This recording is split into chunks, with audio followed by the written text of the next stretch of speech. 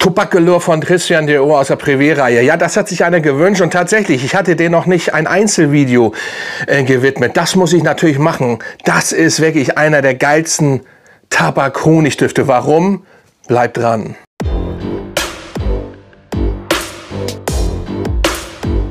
Willkommen zurück, Freunde. Ja, Tabacoloa uh, von Christian Dior aus der Privé-Reihe. Das sind 125 ml für Leute. Das sieht man immer auf dem Video nicht so. Das ist ein schöner, geiler Flakon. Wir fangen gleich mal an mit dem Flakon, aber ne, bevor, für alle Neuen, lasst mir gerne ein Abo da. Wenn nicht, kann ich euch nicht verstehen, wirklich nicht. So, Tabacoloa.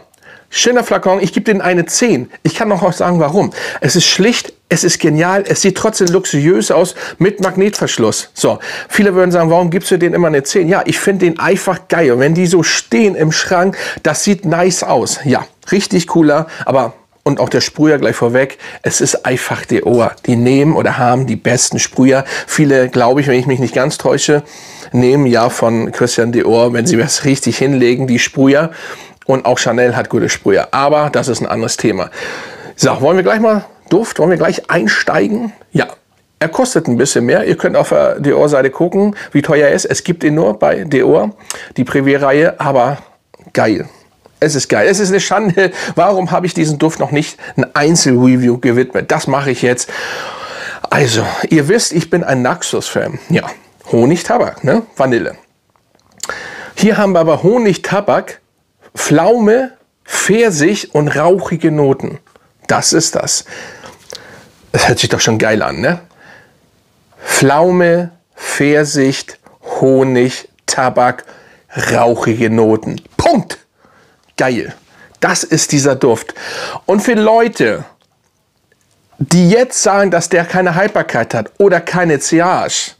Ich habe letztens, wie ihr wisst, Kai Porten getroffen und das erste Mal nach langem überhaupt und ich hatte diesen Duft drauf.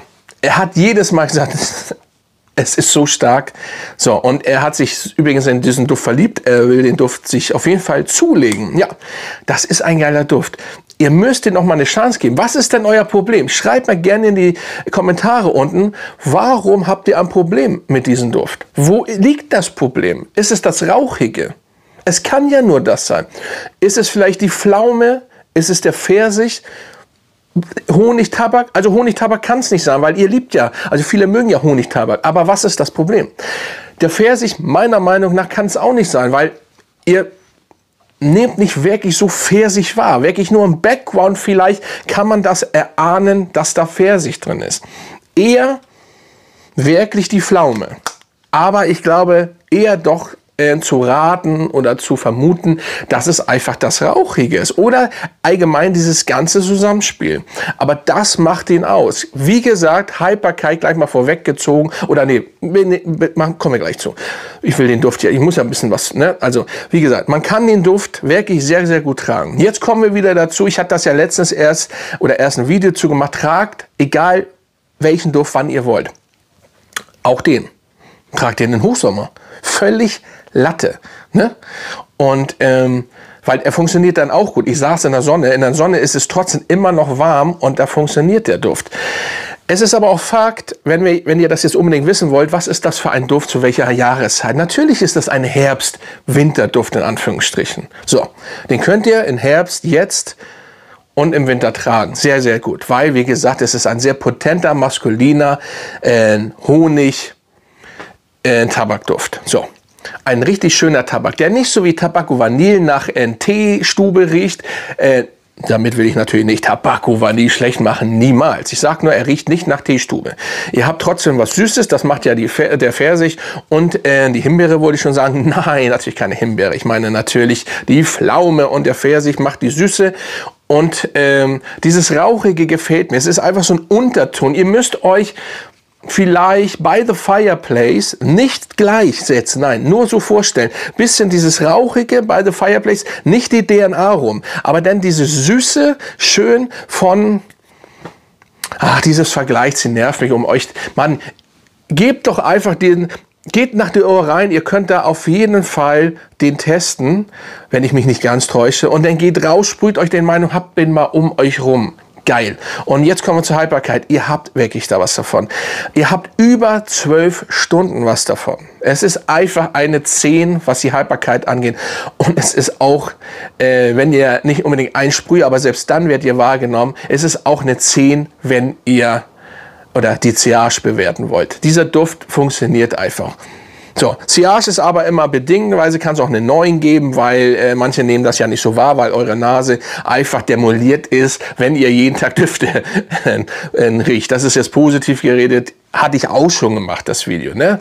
Wenn ihr immer Düfte benutzt, jeden Tag oder riecht jeden Tag noch an Düfte, abends auch noch mal aufsprühen, dann macht eure Nase irgendwann dicht und ihr nehmt sie nicht mehr so extrem wahr. Aber Fremde, die überhaupt keine Düfte benutzen oder nur so ein bisschen, die nehmen den brutal stark wahr. Aber den nimmt auch einer, der immer Düfte benutzt wahr, weil er ist einfach stark. So. Ich finde ihn absolut, es ist für mich einer der besten Tabakdüfte, die es gibt. Das ist meine Meinung. Wirklich, der, der muss sich vor Naxos, und das ist, ne, er muss sich vor Naxos nicht verstecken, er muss sich vor Tabaco Vanille nicht verstecken. Und alles, was, die ganzen Tabakdüfte, Herod, die alle so ein bisschen mit dieser Süße zu tun haben, Herod hat, glaube ich, auch, glaube ich, Tabak drin, und so weiter, und alle anderen, die es überhaupt gibt, muss der sich nicht verstecken. Das ist ein genialer Duft. Von denen habt ihr was. Und den gibt's ja nicht nur in 125, ihr könnt den ja auch ein bisschen kleiner, obwohl ich die 125 am geilsten finde. Die 200er oder 250, da habe ich den, heißt der Ammonoid, glaube ich, den habe ich in diesen 250 50er Flakon, das ist too much. Und dann kostet das natürlich auch ein bisschen. Aber das hier ist genial. Und besonders jetzt zum Einsatz, wenn ihr wirklich nur so drauf seid, dass ihr auf jeden Fall Herbst, Winterdüfte auch nur in Herbst und Winter tragt, dann ist das jetzt eure Zeit, sich diesen Duft anzuschaffen. Absolut genial.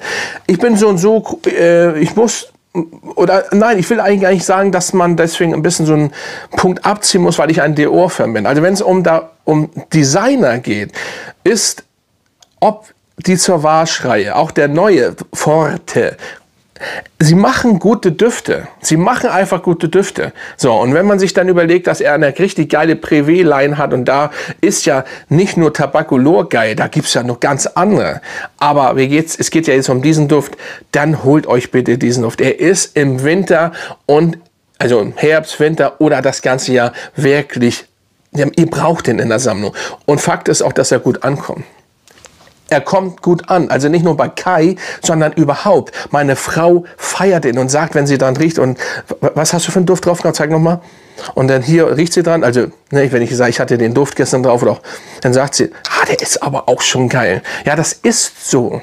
Das ist ein nicer Duft. Ja, Tapacolor von Privé, äh, außer Privé-Line meine ich natürlich, von Christian Dior. Ja, schau mal runter. Habt ihr diesen Duft? Wollt ihr euch den noch holen? Und wie gesagt, Gib denen eine Chance.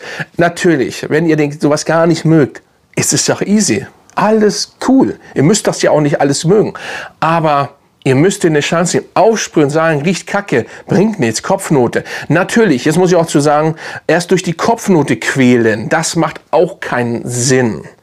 Aber es ich gebe ja immer so einen schönen Spruch, obwohl das vielleicht nicht ganz so passt, ich habe schon Pferde kotzen sehen.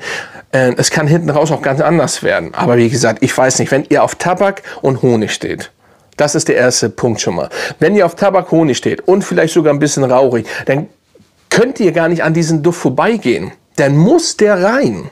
Er muss rein. Er muss rein. also Leute, Schreibt runter, habt ihr den, wollt ihr den holen, wie findet ihr ihn und so weiter und so fort. Grüße gehen raus an meine Mitglieder. Schaut unten in meine Videobeschreibung.